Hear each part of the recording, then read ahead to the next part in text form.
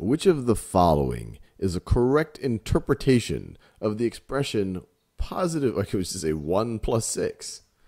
Well, before I even read this, let's just think about what's happening in 1 plus 6 on the number line. I'm going to start at 1, which is going to be 1 to the right of 0. And then I'm going to add another 6. I'm going to go 6 more to the right of 0 to end up at 7, which is going to be 7 to the right of 0.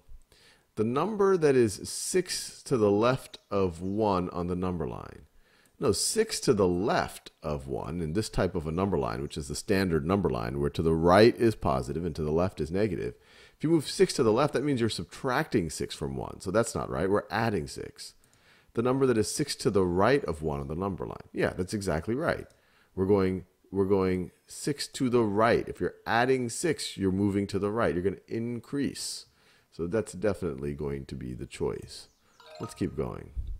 Which of the following is a correct interpretation of the expression 3 plus negative 7?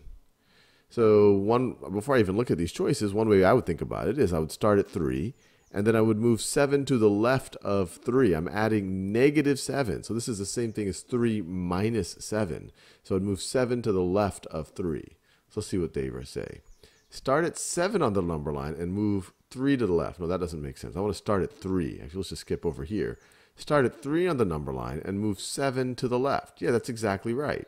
We're going to start at 3 and we're going to move 7 in the negative direction in, to the left. If, if our convention, which is our standard convention, that to the left is negative and to the right is more positive. So that's going to be exactly right. Let's do one more. So now they have 3 minus negative 4.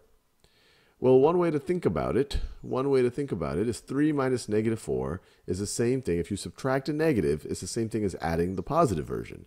So it's the same thing as 3 plus 4. And so I would want to start at 3 and then move 4 to the right. Because once again, this is, this is the same thing as 3 plus 4. 3 minus negative 4 is the same thing as 3 plus 4. So I want to start at 3 and move 4 to the right.